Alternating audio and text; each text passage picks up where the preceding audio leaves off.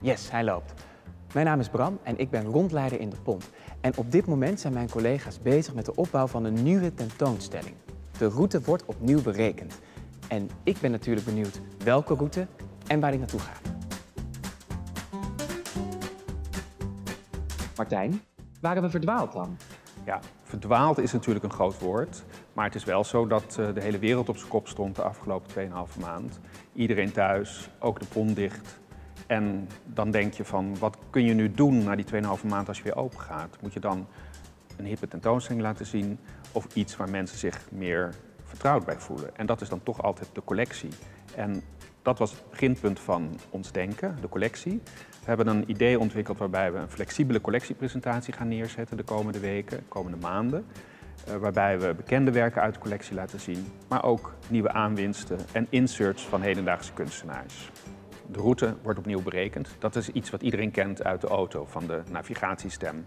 Als je verkeerde afslag neemt, dan hoor je dat stemmetje, de route wordt opnieuw berekend.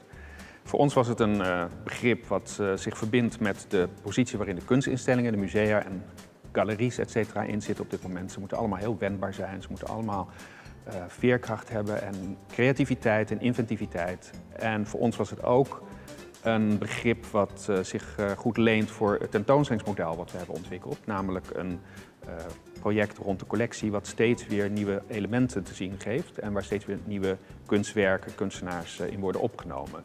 Dus ook daar, de route wordt opnieuw berekend, flexibel, snel wisselend, etc.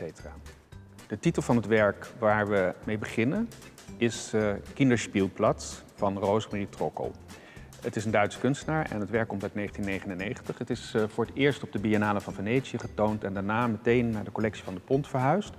Het is uh, een werk uh, wat midden op het grote plein van de Pont geïnstalleerd is. Het zijn acht autootjes die kriskras over het plein uitrijden. En voor ons is de speelsheid van dit werk heel mooi te verbinden met de titel en het idee van onze collectiepresentatie. De route wordt opnieuw berekend. Namelijk, het kan nog alle kanten op. We weten niet wat de toekomst brengt, maar we proberen die met open blik en optimistisch uh, tegemoet te treden. En dat is een beetje wat we willen meegeven aan de mensen. Oké, volgens mij snap ik hem. En dan ben ik gelijk benieuwd naar de volgende afslag.